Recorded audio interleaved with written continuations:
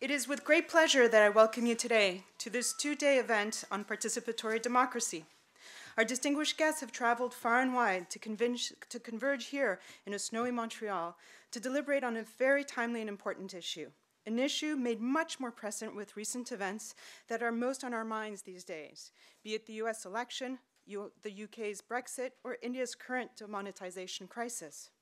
The fact that our prominent speakers have come from all corners of the world is testament to the urgent need to engage in a deep and meaningful discussion about democracy. This two-day workshop is convened by Ms. Aruna Roy, prominent anti-corruption and transparency activist from India, and 2016 Professor of Practice in Global Governance at the Institute for the Study of International Development. The Global Governance Program at ISID, a collaborative, a collaborative effort with McGill Center for Human Rights and Legal Pluralism, provides a forum in which we bring prominent minds from within and outside academia to come together and try to understand the governance challenges facing our world. Through generous donation from the Aaron Jaleel Collins Arsenault Trust Fund, the Global Governance Program has three main components. It funds ISID weekly, ISID's weekly speaker series, it funds our postdoctoral fellowship in global governance, and it brings us a professor of practice to McGill for one semester. Professors of practice in global governance are prominent actors who have influenced the development arena in important and meaningful ways. Through his professor of practice in global governance position, the program aims to make a difference by influencing change. As part of their responsibilities, our professors of practice in global governance have taught our students. They have inspired us, and I think it is fair to say they have given us a unique perspective through which we can understand the world that we live in and the pressing challenges to global governance. Also an integral part of their activities at McGill, these professors of practice convene and organize a workshop, like the one today, on their area of expertise. In 2013, our first year of this program, we welcomed Jim Cooney, a prominent leader in the area of corporate social responsibility, who introduced the term and concept social license to operate into the extractive sector. In 2014, we were honored to host Stephen Lewis, Canada's former ambassador to the United Nations, who shared with us his work with AIDS Free World to end the UN immunity for peacekeeper sexual abuse. In 2015, we were honored to welcome Marie Wilson, Commissioner on Canada's Truth and Reconciliation Commission, who shared with us her very difficult and important and continuing work to listen to and document the very traumatic experiences of the survivors of the residential school system in Canada and she taught us about the importance of healing as a central part of reconciliation. This year, we have tremendous pleasure to welcome Aruna Roy as the 2016 Professor of Practice in Global Governance. Aruna Roy is a prominent socio-political activist and is a part of many socio-political movements in India. After graduating with a master's in English literature, she was in the civil service from 1968 to 1975. In 1975, she resigned from the Indian Administrative Service to work with the rural poor in Rajasthan. She moved to Devdungri, Rajasthan in 1987, along with Shankar Singh and Nikhil Dey, who's also present in the audience today, to collectively build a people's organization, the Mazdoor Kisan Shakti Sangathan, MKSS. She has worked with democratic campaigns for the access the of the poor to constitutional rights, for equality and justice, the right to information, employment, food security, and People's Union for Civil Liberties. She worked as a member of the National Advisory Council from 2004 to 2006 and again from 2010 to 2013. As a member of the Council, she played a crucial role in the passage of the national legislations for the right to information and the right to employment in 2005. Aruna works tirelessly to bring social justice and democracy to India and indeed to the world. Aruna also brought you all here today for this very important and indeed star-studded event. On behalf of ISID, I'm deeply thankful that you've been able to take the time to join us at McGill and also navigate your way through the construction to make it here to the room. And whether you're a speaker or part of the audience, we are all participants today. I would like to thank all who have worked tirelessly to put together this program, Professor Nandini Ramanujam from the Center of Human Rights and Legal Pluralism, Nikhil Dey, Suchi Pandey, Sarah Mahbub, Aisha Vermuri, Professor Catherine Liu. Thank you to all the students who are playing a vital role today. I also again want to thank the uh, Aaron Jaleel Collins Arsenault Trust Fund for making this workshop and Aruna's visit to McGill possible. And most of all, Aruna, thank you for the tremendous energy that you brought to McGill, for tirelessly inspiring us to strive for and fight for social justice, and a democratic and peaceful world. But before I turn the podium over to Aruna, I would like to introduce Elder Patton of Kahnawake. In recognition of the Mohawk lands on which McGill is built, please help me welcome Elder Patton, who will remind us of the importance of being here in the present and share with us some of the invaluable traditional lessons and words of welcome. Nyawan.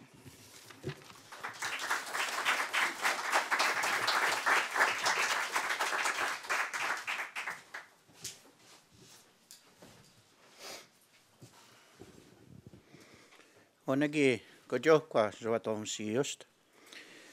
Onegi ehni kwa li hota. Ehni ji desu kwa awi nesu kwa ya desu. Ne wa desu kwa won. Negi wa jini tuwa wonotas. Tana tonu ni oni totkawa. Ne wa su kwa li hunyoni. Agwe kwa su kwa no tunyoni. Agwe ko no hota ne sawira suma. Jini yu chiti kwa li wa yana wa kuche. Oni ne ne at kadaso ne ki chini chu de so ta we atu ngoni wasu da de chunu ne i no de so te chu de so te chu negi wai ne go nu da zoe negi ona da gwan nu rado ti tunne ni zo ni go ro da de zo ri washne ona ya ona agwe go sko na go ha ga chinu ne to na to na ga ren ona ne tunu na ka to na ye da te ne su go ya de zo negi ra we ru ne agwe go na ho to sa ye ra su di kwari wai na wa kuche ne ye kit ni sta ha je hun cha te ne agwe go na ho to ne ti tau he ko no ia ia tā ke chut ko ta, ko cha to wani se rā ke cha to wā sun take. Ko nu dia kwa si tanga se ranyu. Tan jut ko ia kot kau hache ne na ko ta a ko sat sta sira. Ne ni o ni a ko ta sira wai.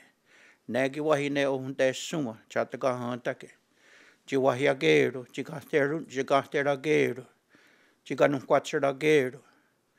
Ne nasi ku tata, ku tata ko kuma, ne chunu ne ci kwa hashi uchi kun yujun hekwa.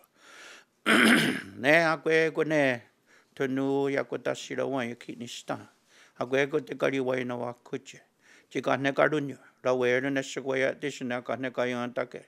Ya unkak taha tarum take, toka ya takahne ki yohake. Tana tina ho ta wa gesu ta wa te huna ta wa hachis. Chi ka ra hunyu. Chi ko tio. Cha te kai o te ke. Os ka nu te ne kwat kwa ko ano. Ne ki wahi tina kwa te ne ko tio. Ho ni ki aska kanchi ta wa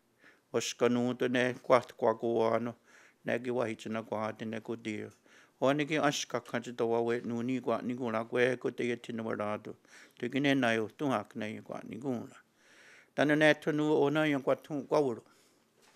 Junu o na rati junu che o chi tau kuma cha te ka chiton ser ko ni ka chiton ser a sa skwa chi ni ore oru ye ku tana ne ni o ni wai chi ka chi o ro te ka eri ni ka wera ke e ki soto ku ara di wera sto no ko dia to ro ku tana ne ni o ni wa hi ne te ki ni di ra kwa ke ye chi do wa chi ya tana di ki sota a soto ke ne ka ka ra kwa ne jut ko da ko se yu di o da che shi ki a te ke no ha che ko ko hu me ko no di ko ta wa ye kwachi ni ore di jisto kwaru. Ne ginya de ko ki wahi no na dari huntu, hea tia tia deri so na tokni ko ji a sat a da wana ji o skat stenyo. No na sat a gora o gara snea ya sat ke do da ene ka na kwa sat tu kwauro. Ji ni o skat stenyo na ho te ya ko ja da siruni in ene ka na karu hi ate. Ona ji ni ore ne sungwa ya diso. Ne ki o uani wani se rāde wa te sukwa no raro ke ta ka tāra ke o ni e ti jut ko ta ko sko na kaha ke. O ne ki wahi ne tunu hona tahi no wa rātu. O ne ki kone kna o na hiri wa ne ko. Ne ki wahi ne hona a i zai a ke na a kwe ko chinichu. A ta ka wana ka ni kong ri sko na. Tano chi zai a ke na na ya ne. A ka ni ko la ta. A ka ni ko la ta ke o ni ati yo yo tos ne skona. O ni sa keni wan hotu unko. No hoti e te riwa te jadu. O ni se rāte ta no yo hone. O ni ki tona iso ni kona dake. When I was asked to come, and what I often tell people is I will, whenever I go anywhere, the first thing that our elders tell us is that we come as who we are. And the Creator, He gave us our own language. That language is rooted in this land. And this is who we are.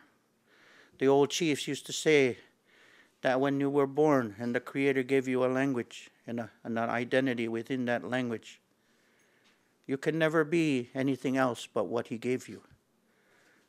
They used to tell us uh, a, a robin will never sing like a blue jay, a squirrel will never try to be a rabbit. The Creator gave us all the beauty of who we are, and we need to remain true to that as as strong as we can and as long as we can, and even as we talk, no matter how hard it is that governments, confused minds try to take us away from that or try to convince us that we should be somebody else. Native people in this land, we know that. Governments came here and they said, You have to be like us. People came with their black book and said, Throw your, your culture away and take this book, this will save you. Look at the inner city now and see how many of our people have been saved and how they're hurting because they lost their identity, but they got a book. And so we always think about how important it is to remain true to what we are. And so what I do is I turn my minds now to you, all of the faces that I see sitting around this room. And I acknowledge each and every one of you. I look you in the eye, and I see that you all carry a good mind. And I see that you all are working really hard to, to continue your belief. And what I will tell you is that you're not here for no reason, that you didn't just come here because you chose to come here. What we say is the Creator, He chose to put you on this path that you're on. When you took your first breath at your birth, the Creator already knew what it was that you would do in your life walk. And you will work in, in that way until it's time to go on your spirit journey. And so I acknowledge each and every one of you that has come at this time. And so now what we do is we say in, in our ways and what we're told is everything that we do you know, when you talk about democracy, in our ways, the way we're taught, they say when we were given our, our ways, we said we're supposed to put our mind together as one mind, one spirit, one heart. And so now we turn our minds together as one mind. And we turn our words and our minds together toward our what we call our mother the earth. She is our mother. Right from creation of this world, the Creator took the living earth and He made a human being and he made a male and he made a female. And he told them that you will work together and you'll create your offspring and you will cover the world, cover the earth. But then he took them and he said, Now I introduce you to your mother, where your body came from. And you will always walk gently on her, on her back and on her body. You will always walk with respect. And your mother will love you and she will take care of you. She will feed you. She will provide for you. She will nurture you. And you always give thanks for what she has given. And so this is what we do at this time. We turn our minds to the most beautiful, beautiful dress that our Mother the Earth wears. And I, I see that you wear a nice, a beautiful dress. And it says, in our ways, it says that a woman, that is the symbol of who she is, is her dress. In all cultures, wherever you will go, a woman wears a dress. And that dress is right from your, your grandmother and your great grandmother, from your lineage, from that female line. Everything that she provided, the knowledge that she provided, comes through the mother. And this is the symbolic dress that you are. You sit under the shade of that dress, and you are what your grand, your female line is. That's the symbolism of a dress. And this earth, our mother the earth, she wears the most beautiful dress that you could ever see. She wears all of the green grass, the different kinds of grasses, the different kinds of uh, things that she wears on her body. And they may be of all different natures in all different ways. And it, it's amazing to see if you look if you look clearly enough. And you will also see in that dress, under that greenery, is the roots of life. And everything that exists in this world comes from roots. Nothing can live without a root. Even for us, that great pine tree and that great maple tree that comes to life every spring, without those roots, that tree will die. And those roots, they continue to, to supply life and dig into the earth and, and use the life that their mother will give so that life will continue. Even for you, you all come from roots. Your belly button when you were born is tied to your mother. And in our way, we take our belly button and we put it in the earth, and we're tied to our mother. And this is where we come from. Our roots is our, our teachings and our knowledge. Our roots is our ancestors and everything that they believed and they carried. That's what makes us who we are. I can't walk into this world and believe I want to be somebody else. I can only be what my ancestors made me to be. And when you talk about democracy, I guess that's the problem because people come and they say, now what you believe in no longer matters. Now you have to believe what we believe. You have to put aside your, well, who you are for their greater good, but we'll determine which it is. We'll determine which law you should follow. And many times, our mother, the earth, doesn't matter in the modern way. But in all cultures, in all way, we believe in our mother and we believe in our ancestors and our, our roots. So we acknowledge the root life. And in those roots are the medicines, the different medicines that grow. That the Creator, at the beginning of the world, He created life and all of the medicines that would exist on this earth, whether it's in the roots or in the water or in the air or in the trees or in the bugs. Everything has medicine. And so we acknowledge the medicines of life that grow on this land. in modern times now, we have gotten so far away from the natural cycle in a natural way. Now we put our, our life in the hand of a machine, and the machine makes the medicines.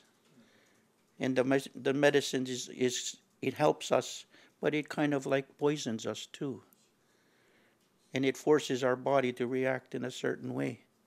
And then we need another another medicine to counteract that medicine so we can be healthy. When in the earth, everything is there. And everything is alive and it has a spirit. It's not it hasn't got the life the same way as a machine. All we have to do is is is use it. And so we give our greetings to our to the medicines that grow. And we say now the creator he made it so that when we were hungry, we could just walk upon the grass life and we would see the beautiful berries, the strawberries, the raspberries, and the blueberries, and all the berry life that grows in this world. So that we would always be changing our, our diets, and the medicines would give us medicine and strength. So we acknowledge all the medicine, all of the fruits that grow, the berry life. We turn our minds to the food life. In our in land, we say, "Ah, the three sisters the corn, the beans, and the squash. And in our world, all of our ceremonies in the whole year revolve around those three, the foods. And it's always about just giving thanks because the corn we planted in the spring grows and it gives us food again. And so we acknowledge all of the, the food life that grows in this world. And what we say and what our, what our teachings say is if Okwehunwe people, native people, and all people if we stop giving thanks to the spirit of the food that grows, then that food will no longer grow. And what will happen then when we see our children looking for food and hungry? That's what we always are taught. And so we acknowledge the food lives that grow.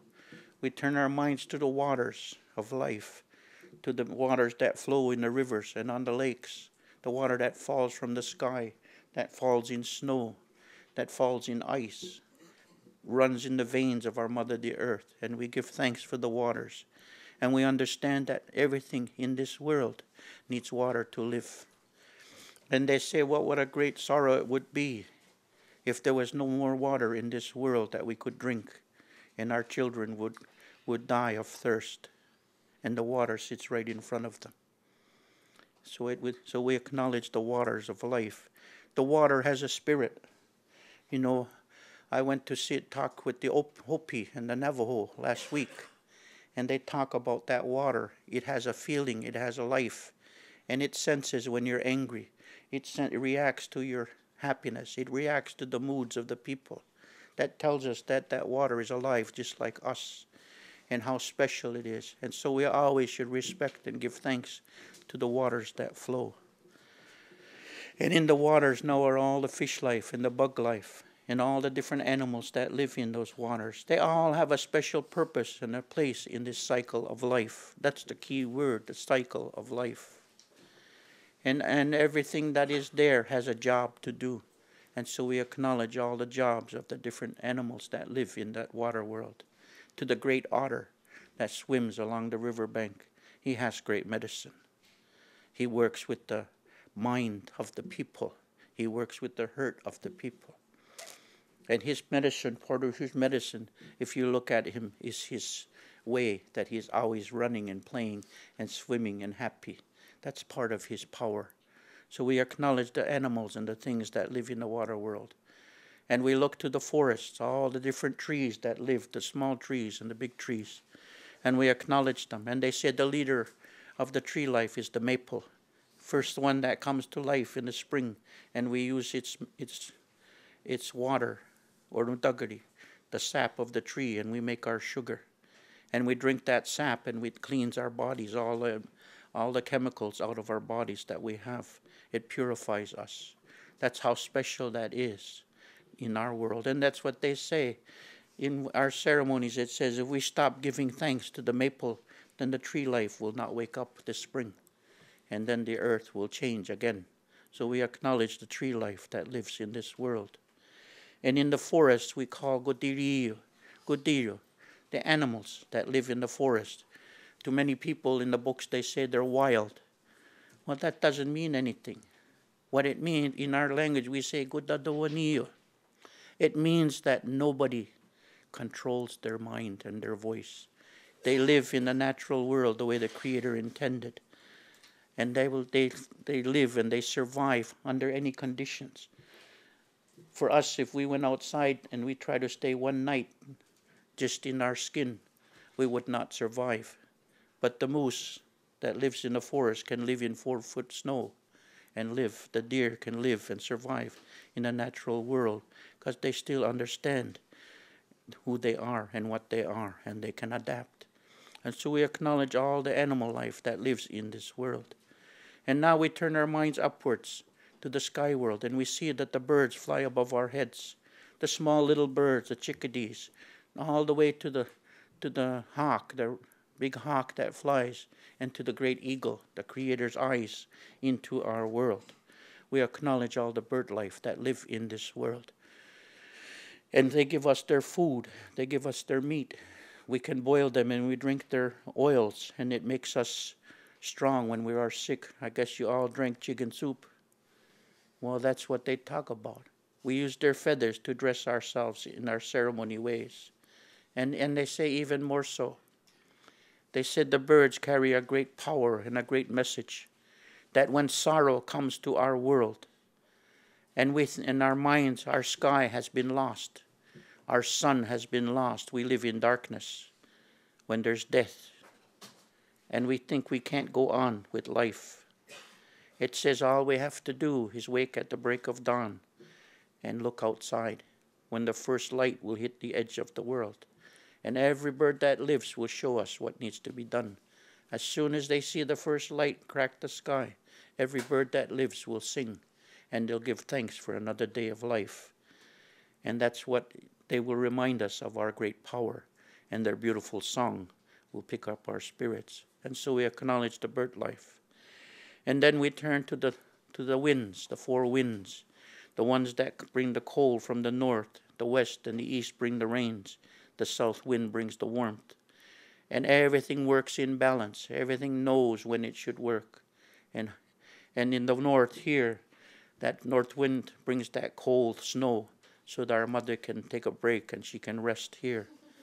And she sleeps just like we need to sleep. And when the time comes when she should wake, then the south wind will bring the warmth, and that blanket of snow will melt, and our mother will wake up again. And so we acknowledge all the duties of the winds.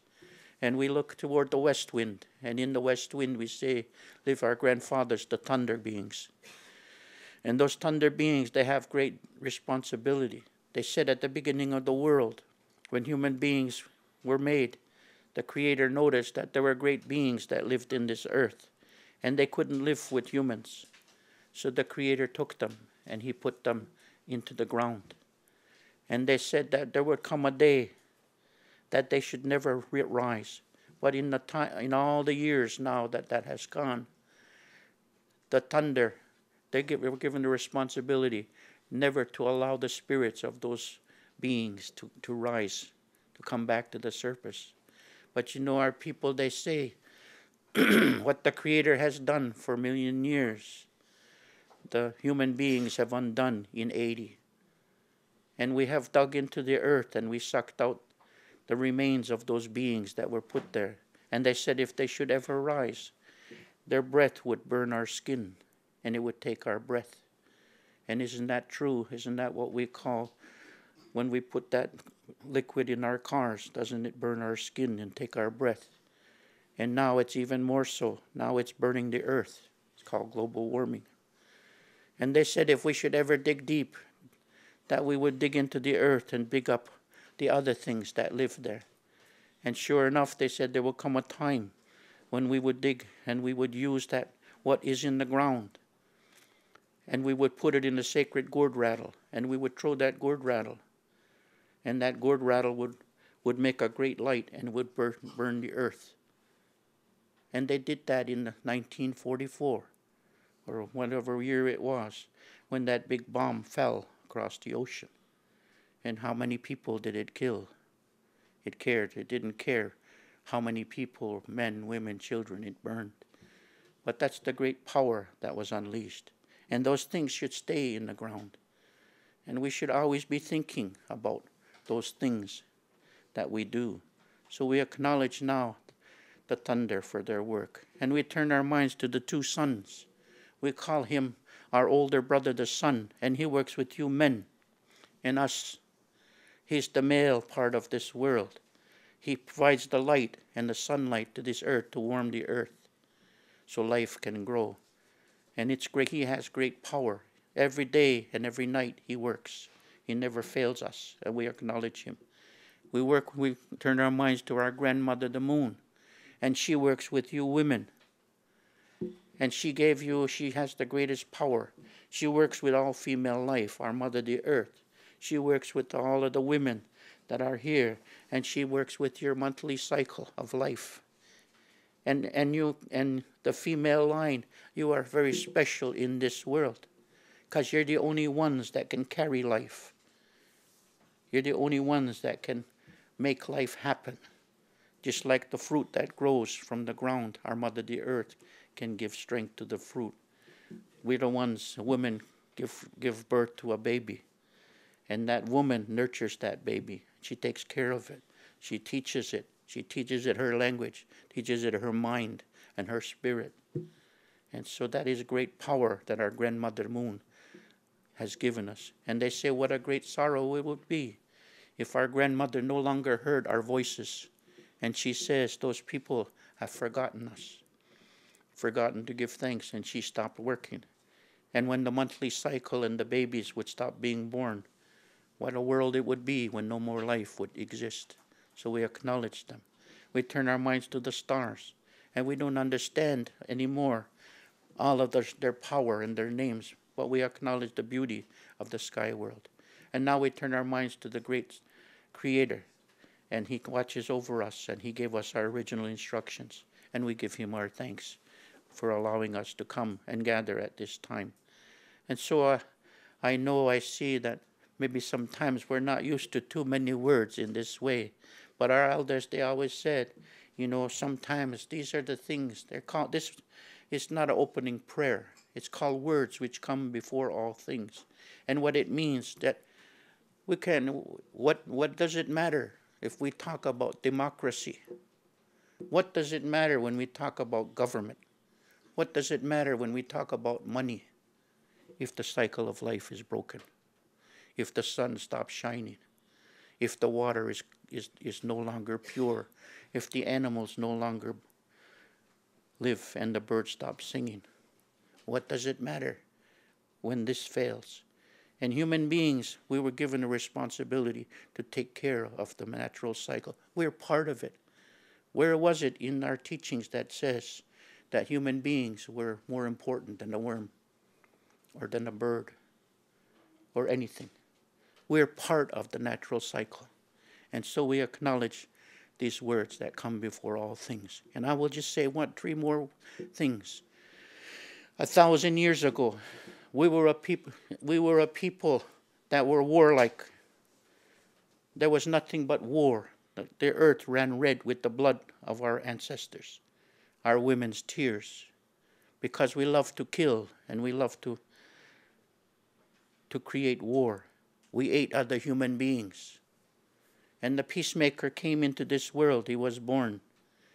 And he brought us a mind. And he convinced our, our chiefs and our leaders then to put away weapons of war, to use a good mind, a good heart. Skono, God ni rio, peace, power, a good mind and working together, which is which is power, unity. And he convinced our people that was more powerful than a weapon. And so, still to this day, a thousand years later, we still talk about those things. But one, there were three words that happened that he said is important. And one, it says that when I look over the world and I look at all of the people, one of the principles that he used to bring this mind, he said, Now I look at each and every one of you. I don't know where you came from and what your journey was. I don't know the history of where you traveled from, but in that long journey, there were many things that have caused your spirit to be hurt. There is many things that caused your eyes to be covered with the tears of sorrow of your ancestors, and that you cannot see clearly generationally. Now I will reach into the Creator's land, and I will ask the Creator to give us the finest, softest doe skin and I will wipe your eyes. I will wipe the tears from your eyes. And I ask the Creator now to give you sight so that you will see clearly what it is you need to do in your life, in your work, to make this world better for, for you and your families. I will I ask as when the great sorrows have hit your peoples, your ears blocked up with the dust of sorrow and death. And so it was hard for you to hear or even to breathe the fresh air. For thousands of years, we carry this. So I, now I reach into the Creator's land and I ask the Creator to great, give us this great eagle feather. And I will wipe the dust from your ears, symbolically and spiritually. Now I say you will hear the beauty of words. You will listen to the people speak. You will breathe the fresh air, and it will give you strength. And so we acknowledge that this will happen for you. And it says, when the great darkness and powers of that have struck, and you carry the pain of that, it says, it is as if there is a great lump that sits in your throat that you cannot speak, you cannot swallow. And so what we do is we take the we take the finest water from the Creator's land and we offer you that spirit drink for each and every one of you. And that water, when you drink that water now, will wash away that lump in your in your throats and that burning that sits in your chest. We all know that burning when somebody that we have loved has passed and we see them for that last minute or two, we feel that burning in here. That's what we're talking about. And we ask that water to wash that away from you. So now that you can be free, your eyes will be clear, your ears will be open, and your voices will be clear and you can speak what needs to be said. And so these are the words that we offer to you, our relations. And so we ask the Creator one last time to give you the power of good words and a good mind and working together so you can achieve your goals. So with this, we open this gathering and we open this meeting of minds. And what we do is we also will say, that how many years ago when those ships came down the ocean, Champlain came down the ocean or and down the river here. Right here next to where you're sitting was our communities. And they call that in the, the, the French they call it Hochelaga. but we said we, we called that place Ojirake. They acknowledged that at one time there was a fire there, and it was on the fire. Maybe it was a volcano thousands and thousands of years before, but they acknowledged where they lived and they used that. They couldn't say oh, Ojirake, they said Hochelaga. So this is where we came from. This was our northern territory. And it, was, it went all the way through New York State and Vermont, Pennsylvania. This is where our people came from. And so this is so so now I will say to you, have a great conference and use good mind, the power of one mind. So let that be in your mind. Thank you for listening.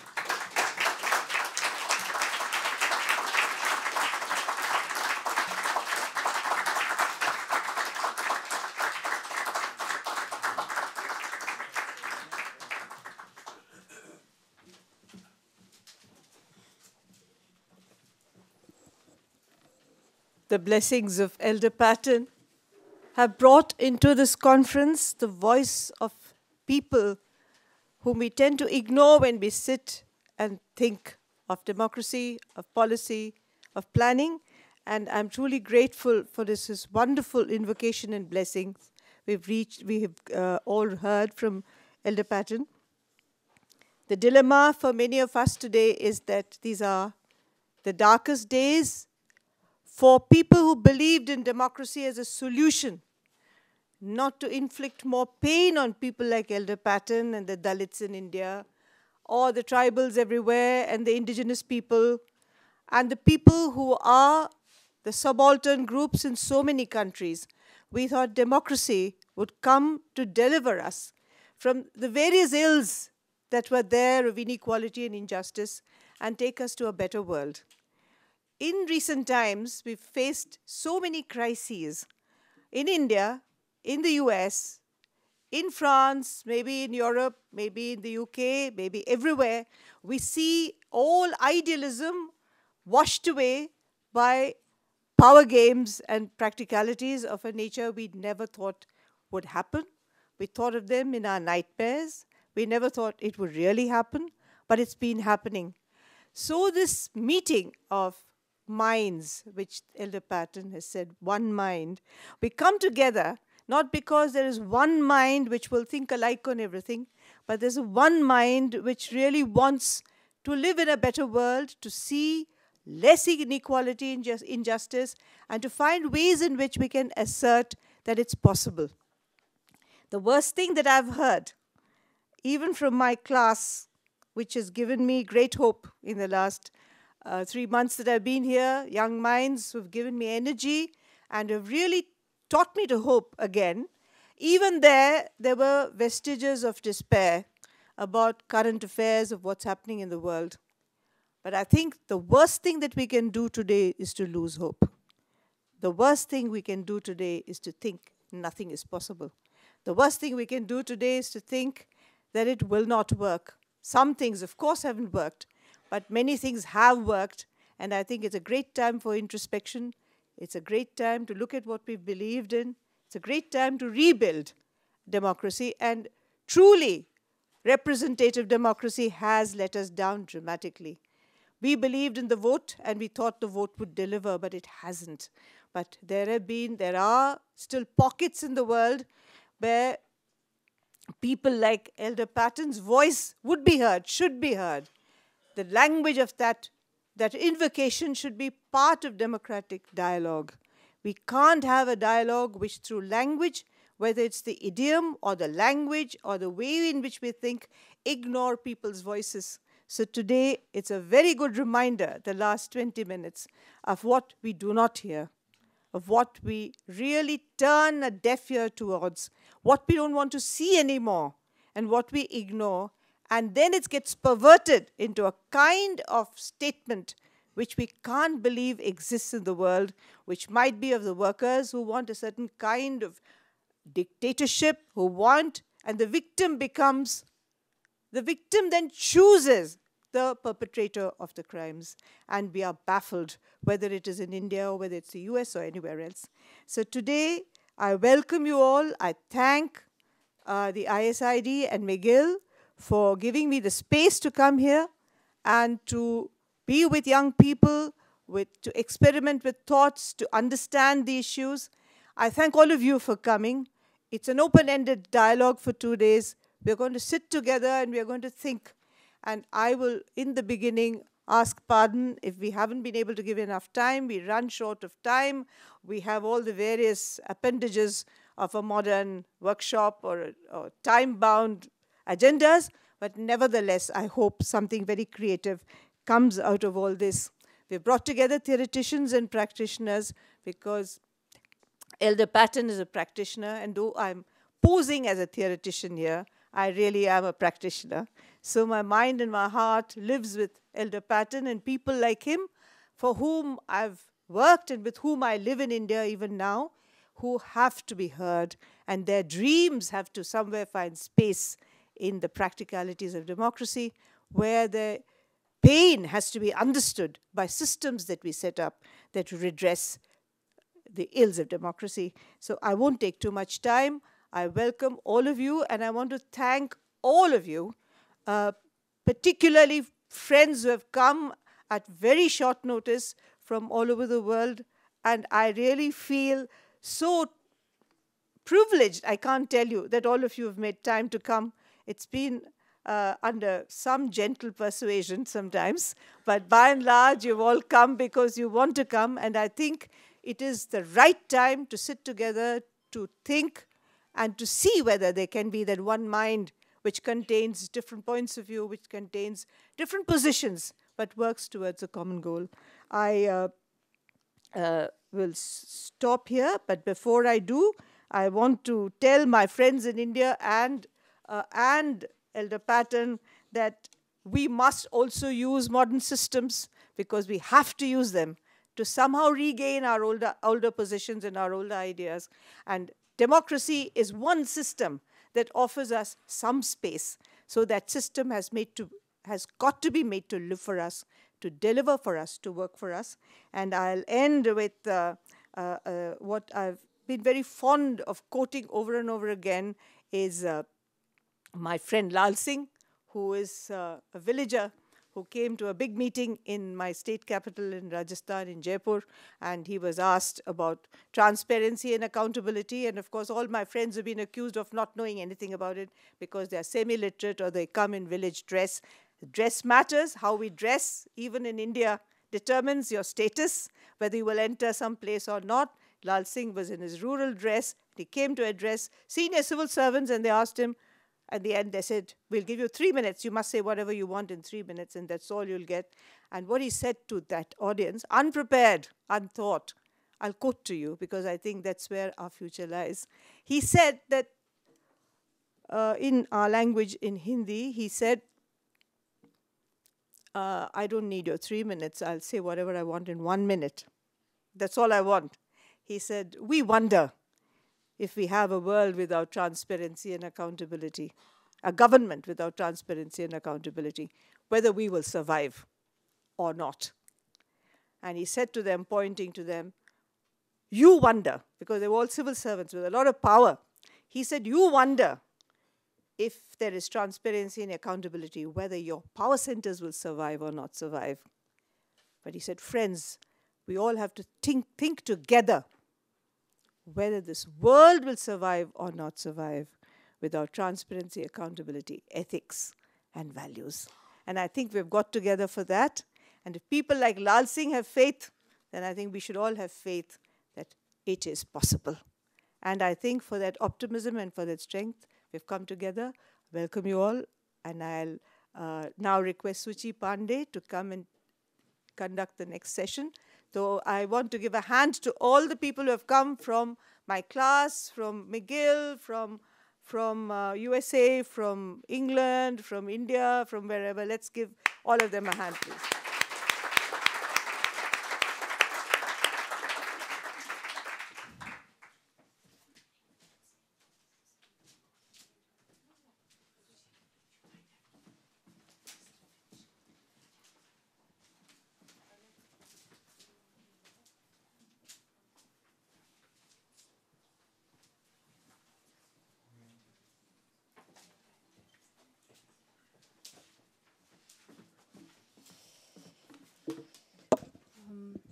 Join um, Professor Laszlo, Arunaji, and ISID in welcoming you all here. Thank you so much, and it's very nice to see a lot of familiar faces. um, I think what we wanted to do with this introduction session is that we wanted to invite you to reflect on um, what is, in your opinion, uh, or in your view, one of the greatest challenges to democracy today. But not to end on that negative note and also invite um, a thought on any kind of um, initiative, group, um, experience that has given you hope. Um, and this picks up on what Arunaji said that um, there is a lot of uh, us who are feeling like there is no way out. Um, we've certainly felt that in India two years ago when Modi was elected um, then the Brexit vote, and now uh, the US election results. But um, like she mentioned there, her class has given her a sense of hope, and we would also like to carry that feeling that she has had over this term with her class and her students, giving her that sense of hope into this discussion here. So I'd invite everyone to please take about a minute, a minute and a half to, to touch upon these issues. I know it's hard. we're, we're running a little bit behind time. But if the participants can please, uh, you know, share their thoughts on challenges and, and, and hopes for moving forward, uh, we'd appreciate that. Thank with you. Yes, of course, with your names and where you're coming from. Thank you. Yes, we can start here. Uh, each one of us. Uh, yes. All right, well, okay.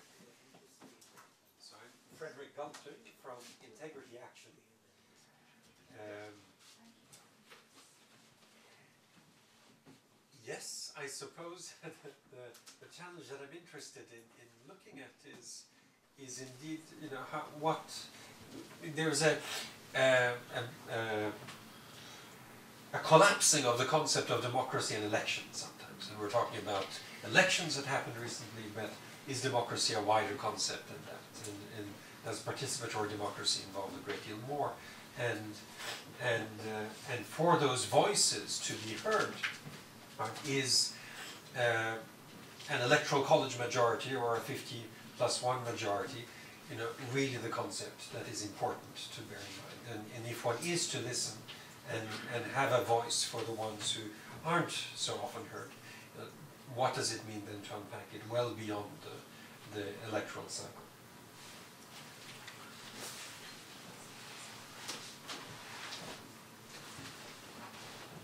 Patrick Brennan, I'm with McGill University. Um, in terms of democracy, and I, I'd say my sources of hope, uh, I do see it in the youth. I see it in the inclusion of um, often marginalized groups in Canada, including Indigenous peoples, which I will reference later. But I'm also going to, um, I was going to mention this later, but I think it's only appropriate given that Leonard Cohen uh, was a McGill alum and uh, I'm going to reference a couple of pieces of work that I take solace from. One would be Leonard, or I'm sorry, Bruce Cockburn, who is one of my favorite uh, musicians, uh, with his fam- famous line. With his famous line, um, which U2 use later in a song, that we need to kick at the darkness until it bleeds daylight. But I'm also from Leonard Cohen's song Democracy, um, going to reference the following. I'm sentimental if you know what I mean. This is only one of the verses. I love the country, but I can't stand the scene. And I'm neither left or right, I'm just staying home tonight, getting lost in that hopeless little screen. But I'm stubborn as those garbage bags that time cannot decay. I'm junk, but I'm still holding up this little wild bouquet. Democracy is coming to the USA.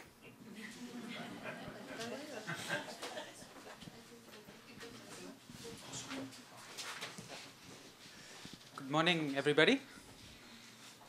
We can do better. Good morning. uh, my name is Vivek Ramkumar, and I uh, used to work with Aruna and Nikhil uh, in Rajasthan 15 years ago. But uh, for the last uh, dozen or so years, I've been in Washington, D.C. with an organization called the International Budget Partnership. Uh, we work with groups around the world, so I keep my focus not just in the US but outside of it. And over the last couple of years, I know a lot of the attention has been over what has happened in the US over the past uh, couple of months, and uh, it is the most powerful country in the world, and there's naturally a lot of attention uh, that it draws. That what happens in the U.S. brings uh, a lot of media attention to it. But there have been occurrences in other parts of the world also, where there has been a rise of uh, populism, of muscular populism, where people in very very large numbers uh, oftentimes who are not well off, because the majorities we know in the world are not the well off they are voting to bring in to power leaders who have a screw you mentality, who are not necessarily standing for something positive, who are not necessarily standing for policies that will deliver to the people who have voted for them, but who have policies that will hurt other people.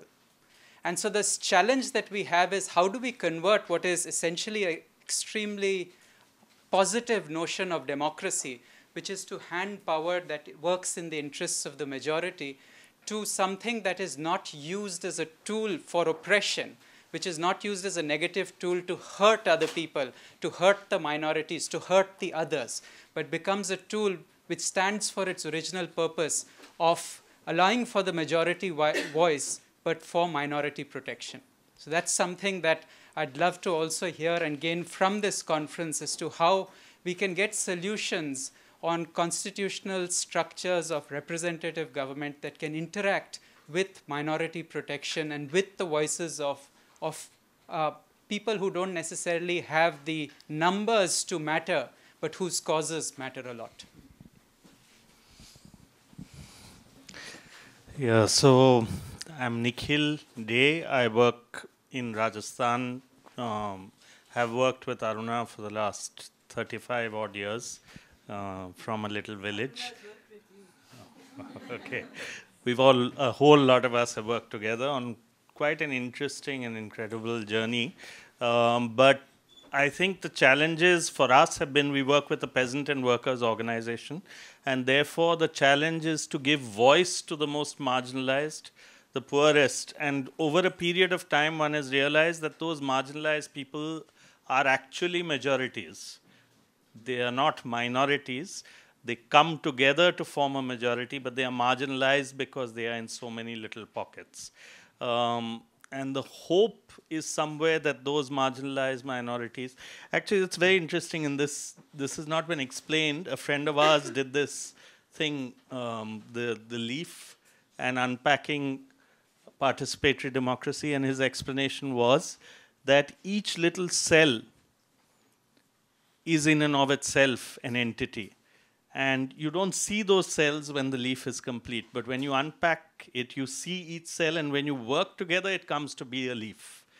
And can we, in our democratic framework, actually respect individual cells and respect communities that are smaller and come together to be what uh, Elder Patton said, one mind? So, can we do that? Can we face that challenge? Uh, good morning. Uh, my name is Pearl Eliadis. I'm a human rights lawyer. I'm based here in Montreal, and I also have multiple connections to McGill that I'm uh, an, um, an alumna of. And it's great to see everybody here today. And thanks very much to Aruna for inviting me. Um, you know, after all these wonderful, pre- especially the Leonard Cohen thing, I'm, I'm not really sure how one can top that, so I'm not going to try. Um, I guess, uh, I guess, uh, I, what I want to say is that I've been involved with civil society and civil rights organizations since uh, my teens, um, and I've been involved with human rights organizations, women's organizations. I've had the privilege of working not only in Canada but also in uh, Rwanda, Sri Lanka, Sudan, um, Tajikistan. And in all of these countries, I suppose what has struck me and continues to strike me is the enormous perseverance and courage of people working in civil society organizations on the ground who pay no attention to venal leaders. Um, we've had much worse than Trump or Modi uh, in the past, and civil society organizations continue to work and to persevere and to seek voice. And I think the positive thing that I would, I guess, ask us to consider consider thinking about and how we unpack it is how this idea of an enabling environment for civil society organizations can be used as a an entry point into thinking about participation and democracy in a much more meaningful way that can create counterbalances with governments that no longer work for people. So I'm looking forward to the two days. Thank you.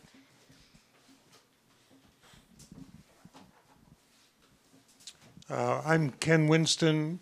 Um, I'm recently retired from the Harvard Kennedy School, where I was a lecturer in ethics.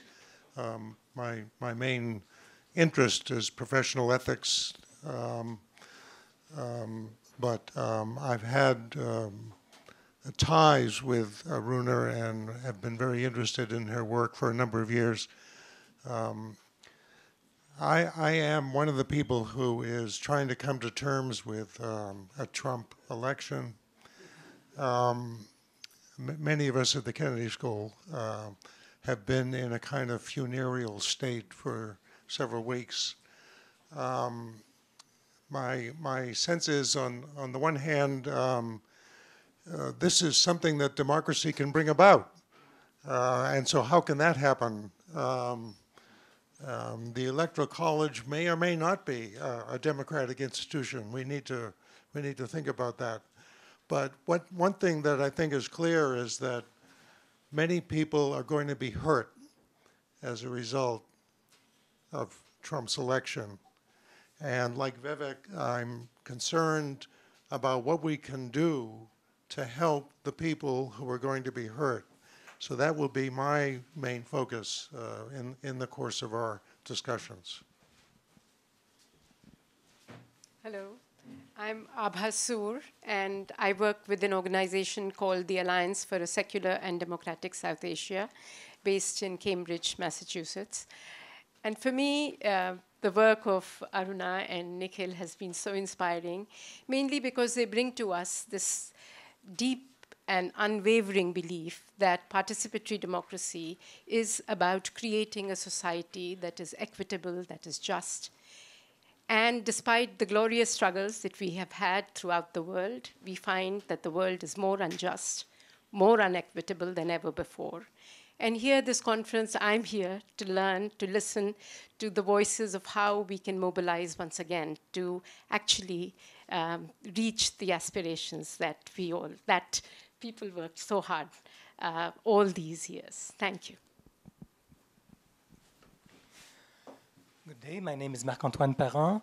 Um, I've come from the old tradition that maybe software could help us communicate, and we've seen exactly the opposite. I'm almost ashamed to say it. I mean, certainly software has enabled uh, disinformation to spread quite well, but there's also uh, great currents of better communication patterns. There's a lot of people working on dialogue patterns, whether in or out of the software world.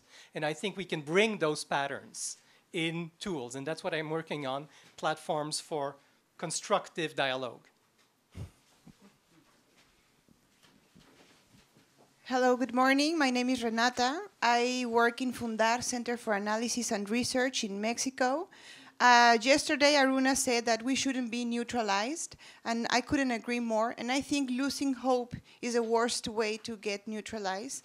And I gotta say that we Mexicans are so experts on never losing hope, no matter what. so, um, and I think that like uh, the biggest challenge on democracy is to stop conceiving democracy as a one-day event. It's not the elections. It's not the result of the elections. It's a process. It's a day-to-day -day work and that's how we should be focusing all the time. So I'm Toby Mendel. I run the Center for Law and Democracy. It's a Halifax-based uh, human rights NGO. We're kind of uh, mostly an activist organization, so on the practice side of things, but also a bit of a think tank organization, so sort of slightly straddling the practice, the theory and back uh, dichotomy that we're looking at here.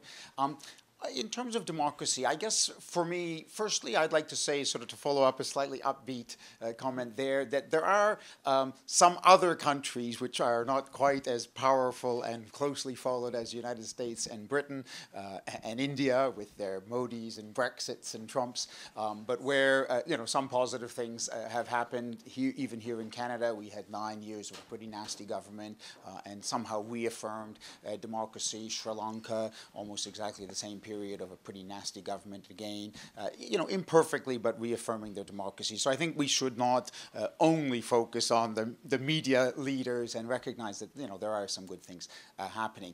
I guess for me, and sort of building on that, what, what my biggest question is, whether there are profound structural flaws in the whole notion of democracy, so that we're seeing leading, so-called leading democracies having significant failures, or whether there were just some problems within those democratic systems which failed, which led to those results, which aren't whole system failures, just partial problems within the system. And uh, you know, hopefully we can a little bit unpack that over the next couple of days. No right to speak. we do believe in freedom of expression. But why not? no, I don't. I don't know. We're all students. We're all students. Um, well, good morning. Uh, my name is Tess Tesalona, and um, I'm uh, the vice chair of the International League of People Struggle, the Canadian chapter. Uh, I'm based here in uh, Montreal, working with the Immigrant Worker Center. Uh, what gives me hope, really, as uh, Arun was saying, just this um, weekend, I was a driver to the youth conference of the Filipino youth in Toronto. And these are um, uh, Filipino youths from across Canada. Uh, their organization is Anakbayan, meaning children of the people. And uh, the representatives were coming from the US, the Philippines, Europe, and across Canada. And uh, incidentally, one of the representatives happened to be in Aruna's class. and so, what gives me really, really good hope is how the youth have taken on the question of participation, engagement, and what would be a meaningful future for, for, for them as they will be the one who would uh, be the next in line for policy change and whatnot. And it's coming from the experience through migration, through the experience of their countries of, uh, of uh, origin through, in the Philippines, and questioning the roots of oppression. And uh, in uh, uh, also connecting to what others have said about um, uh, democratic processes. As you will know, the Philippines just elected a very uh, uh, colorful president, to say the least. Uh, and what comes out in the media are, of course, all the negative publicities. But on the one hand, uh, he is different from what the Philippine experience has previously been. And currently he allowed for um, the uh, opening of the peace talks between uh, the Philippine government and um, the National Democratic Front. And what we are hopeful is that uh, the engagement once again of the people, and the people have 15 points demand on which to work on. And so uh, that's what we hope that will unfold. Um, sorry, uh, we're going to just stop the introductions here because we're sort of running a little bit behind time and want to get to the first session. So uh, what we'll do is that we'll come back to uh, everyone in between sessions to come and reflect, and probably even during the Q and A, uh, you can reflect on on on the challenges and and and what you think provides hope in these dark times. Uh, but the good news is that we're going to break for coffee and muffins. So if uh, everyone can help themselves, and we'll come back at 10:30 to start the first session. Thank you.